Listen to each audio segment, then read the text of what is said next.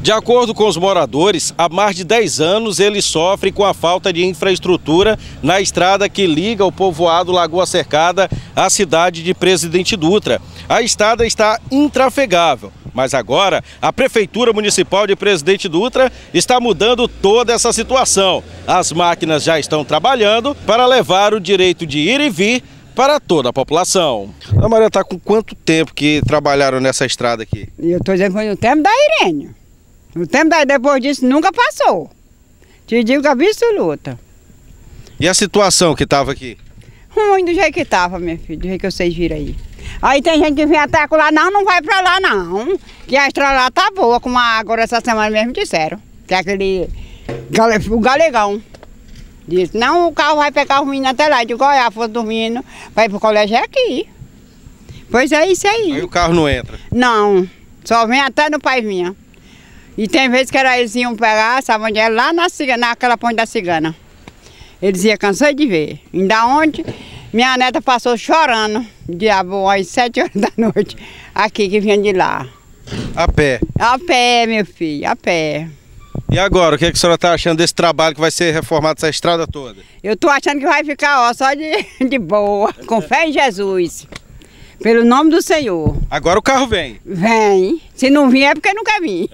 Mas não estrada, que dizer, não, não vou porque não tem estrada, né não? Pois é, meu filho. Prefeito Raimundinho está de parabéns. De parabéns. Dona Edilva, há muito tempo vocês sofrem com a situação dessa estrada aqui, né? Demais, demais mesmo, olha. Tanto nós sofria com água, sobre a água. Os meninos para estudar tem que ir lá para a Cigana de madrugada, porque não tem estrada e o ônibus não entra aqui de jeito nenhum. Os meninos sofrem demais. E nós também, para ir para a rua. E com esse trabalho, o que, que vai mudar? Vai mudar um bocado. Que o ônibus tem que, se não entrar agora, porque não quer, né? Adiviar as pontes também. Se não mandar fazer daqui um dia cai também, né? Um Mas... trabalho que estava sendo necessário aqui, né, dona? Era a estrada e a ponte.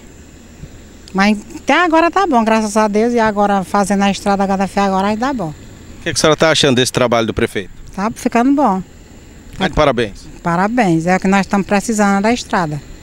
A gente quer parabenizar mais uma vez o prefeito Ramindal de Lá pelo serviço que vem fazendo em todas as áreas. Então, mais uma, uma, uma estrada que está sendo refeita, que há muitos anos não era olhado com, com os olhos do gestor então aqui a recuperação da, da estrada Lagoa Cercada. Quem ganha com isso é a população. E a gente viu relatos aqui da população que aqui nem carro não entrava. Hein? É, a gente é uma coisa que a gente fica triste, né?